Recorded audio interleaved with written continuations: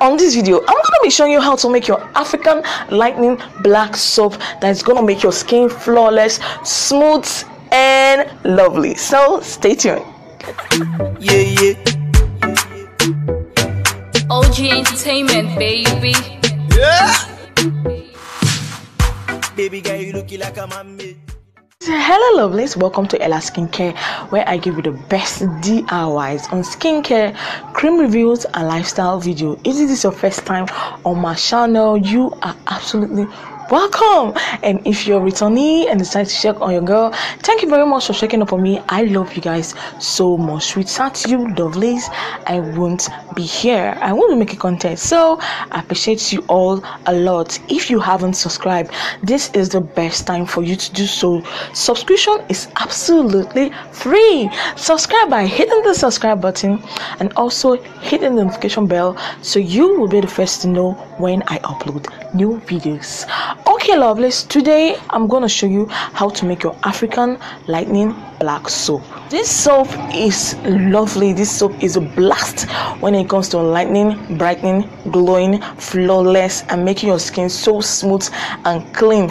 This soap has lots um good ingredients that's going to fight acne make your skin flawless exfoliate your skin because one of the ingredients i'll be using has lactic acid on it naturally that is going to exfoliate your skin. At the same time leaving you with a glowing flawless skin. Okay mind you this soap is not a bleaching soap but it's going to brighten your skin.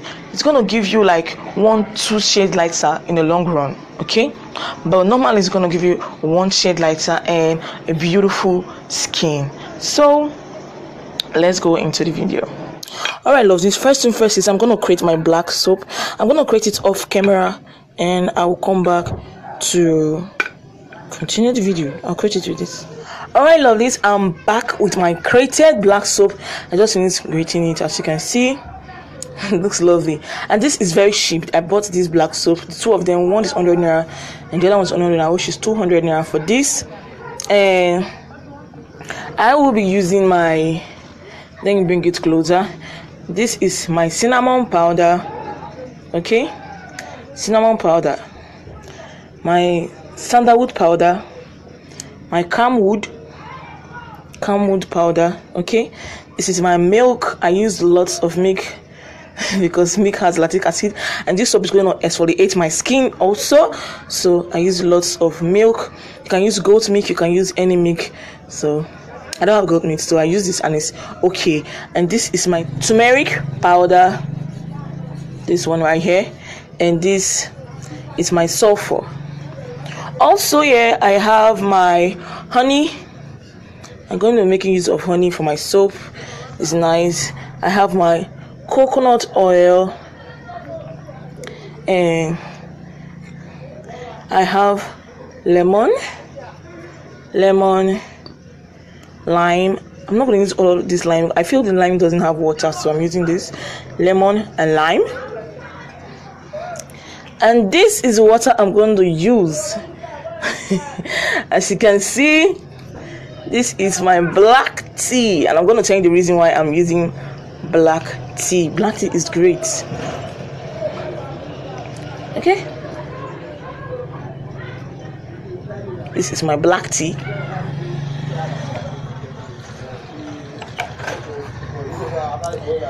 This is my strawberry fragrance. Okay? It's optional. This is optional. And this is my preservative which is optional. So these two things right here they are optional. Sorry for the light. I don't have light so i'm doing this at night so pardon me. Okay. Now i'm just gonna let this soak in well for the next five minutes then we're gonna remove this okay? Just let it soak for the next five minutes before we remove this. So lovely five minutes is gone. I'm just gonna remove my my Lipton which is my black tea from the water.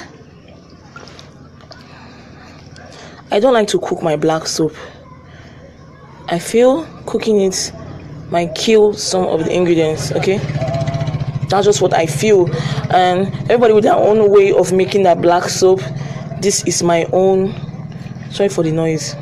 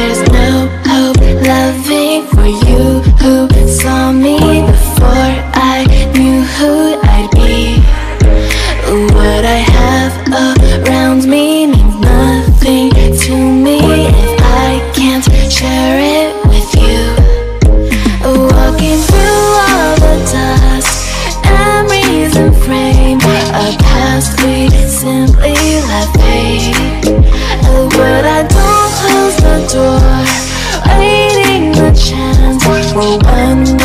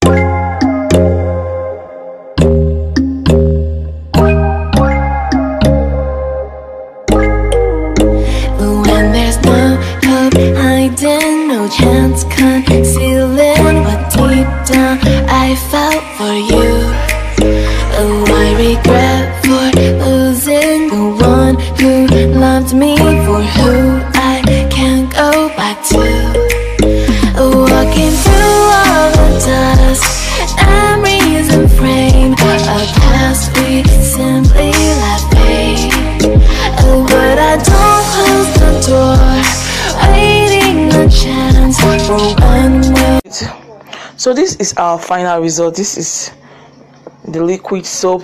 So if you want to make the soap a solid soap and you still want to um, use your green tea to make it just need to add a little water. Little water. The created black soap melts easily.